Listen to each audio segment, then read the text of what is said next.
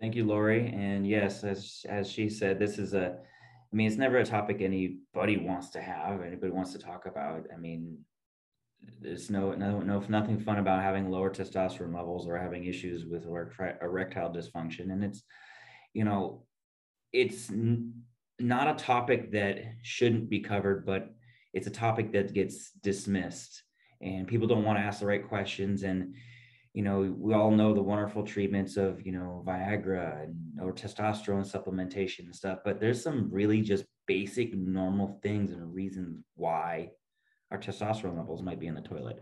And there's reasons in you know sleep apnea and proper sleep is one of is a huge huge consideration. So I, you know we put together a, a presentation a slideshow. I'll go over and discuss different topics and you know reasons why and uh, we can do some questions and answers there's of course uh, you can put it in the chat you can put it in the q and a um, and then we can uh, you can know ask the questions as you need so I will get this uh, moving. I am in the wrong thing. We're going to share screen.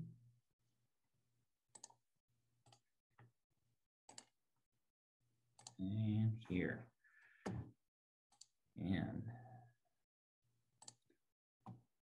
The connection between sleep apnea, sleep apnea and erectile dysfunction.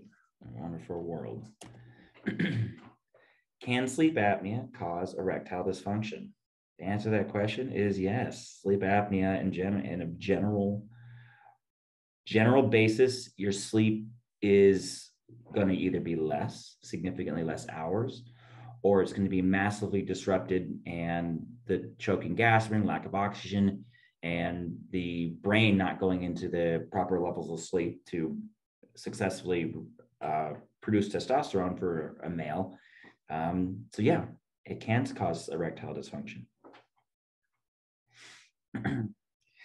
this is a definitely not a situation where we want to be sitting as a guy. We don't want to be sitting in the edge of the bed knowing that we are responsible for uh, poor performance. You know, sleep apnea and erectile dysfunction may appear uh, maybe two very separate concerns, of course. You can have one and not have the other, and vice versa. Uh, but much, multiple studies are showing that poor sleep quality and chronic sleep deprivation does increase the, and disrupt your sex life. It increases the risk of developing heart problems, heart disease, and other serious health problems. You know, there's a general link between sleep apnea and erectile dysfunction, but it's not fully understood like which one comes first or how, how you get to get them. And there's there's more research being done on these project processes. Um, research studies aren't huge uh, in regards to this particular topic. But it is, there are research studies on testosterone, which of course is linked to erectile dysfunction. Um, and, but numerous studies have shown sleep apnea and erectile dysfunction in men are intertwined. Uh, one example between the two is low testosterone and sleep deprivation. Uh, the slide that I put up here, um, the effect of sleep loss on testosterone levels was apparent after just one week of short sleep in healthy young men. Uh, five hours of sleep or less decreased testosterone levels by 10 to 15%. And of course, then you have no energy. We all know exercise helps raise our testosterone levels. When you don't sleep enough, you don't have enough energy. And of course, poor diet is going to cause issues with your your testosterone, your energy levels. And when we don't sleep enough, we eat to compensate for energy. It's this cyclical cyclical process. Um, age and lifestyle are, of course, factors, as I mentioned. You know, exercising and things, um, and they help. Their their help. The exercise and uh, lifestyle are factors in healthy testosterone levels and sexual function. Um, the sleep is something within our control, though we can control most of the time how many hours of sleep we're getting. Unless there's a problem such as obstructive sleep apnea, then we might need to seek uh, help. Um, and the condition, of course, sleep apnea occurs more prominently in men.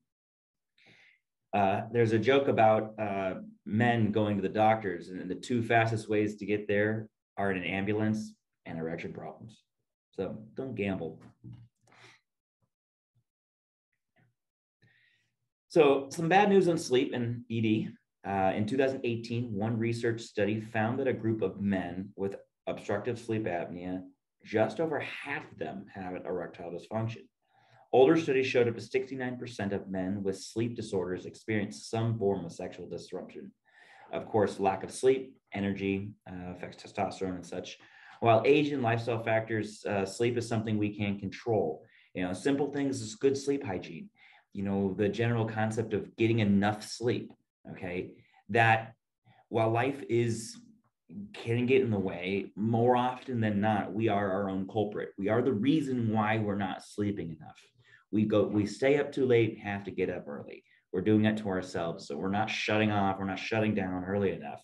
And of course sleep apnea for a lot of people is is unknown. Like i can't tell you how many patients i sit and talk to and i'm asking them the reasons why they're here and so on and so forth and more often than not it's somebody else told them to be here.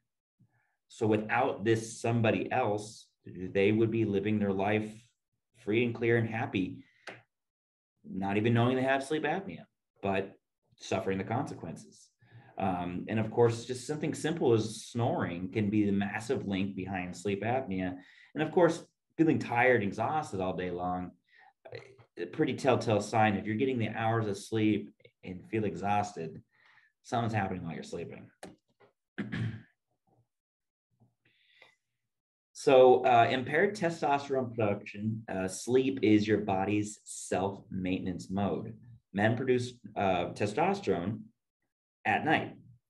In lack of quality sleep, uh, untreated sleep disorders like sleep apnea can reduce testosterone levels, lowering, of course, energy, strength, stamina, libido, and impair the ability to achieve and maintain that wonderful erection, which is, yeah, no, no thanks.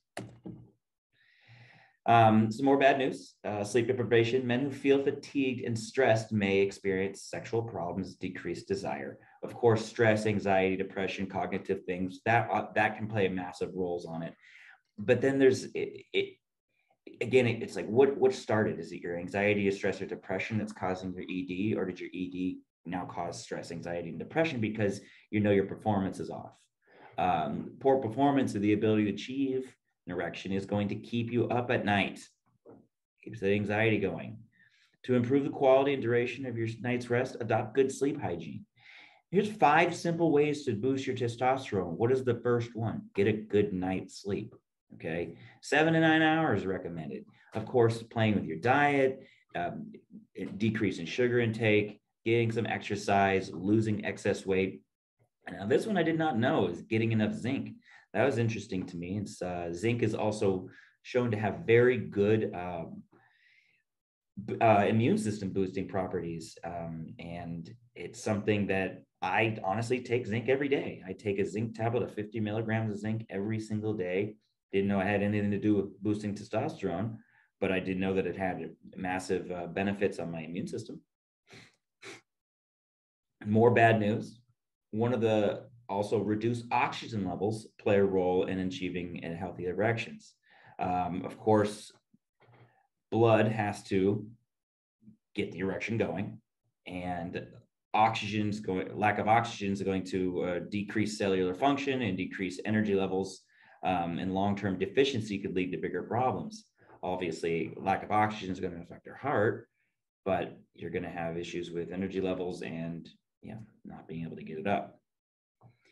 If you snore or experience sleep disruptions, you're likely to experience effects of reduced blood oxygenation that impact overall health in multitude ways, including increased incidences of erectile dysfunction. So again, you checked.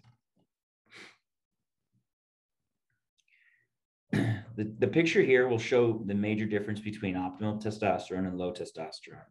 Of course, the guy on the left, uh, he's, of course, the pictures of a, of a, guy who's fit and in shape. Um, you know, he's more mental focus, definitely has a higher muscle mass, good heart health, energy, bone, strong bones, strong erections, and libido functions. On the right, you're having run the risk of low energy issues. You have increased fat tissue. Um, it could have gynecomastia, or the the the female sort of um, features. You can be very depressed. You can have uh, increased risk of ED and low libido, low sex drive. Um, and, and, it has an increased risk of osteoporosis in men, which is not common uh, for guys to have. You know, studies show that treatment of obstructive sleep apnea will help e- ease ED symptoms, uh, improving oxygen levels and overall sleep quality. In turn, boost natural testosterone production. Of course, you can see treatment for us for any sleep disorders, just snoring, excessive daytime sleepiness, tiredness, headaches, irritability, difficulty concentrating, which are all significant symptoms of sleep apnea and poor sleep. Lifestyle changes, quitting smoking, reducing alcohol intake, and losing weight um, can help uh, experience, especially if it's just intermittent erectile dysfunction. Um, and of course, might as well err on the side of caution. If something's going on, again, it could maybe it's an anxiety related thing, maybe it's completely something that's uh, a one off sort of moment. Um, but it's a whole lot less painful dealing with the effects of sleep apnea than sleep apnea and erectile dysfunction. So, thank you much. Hopefully, everybody got something out of this. And do we have any questions or answers or concerns or chats?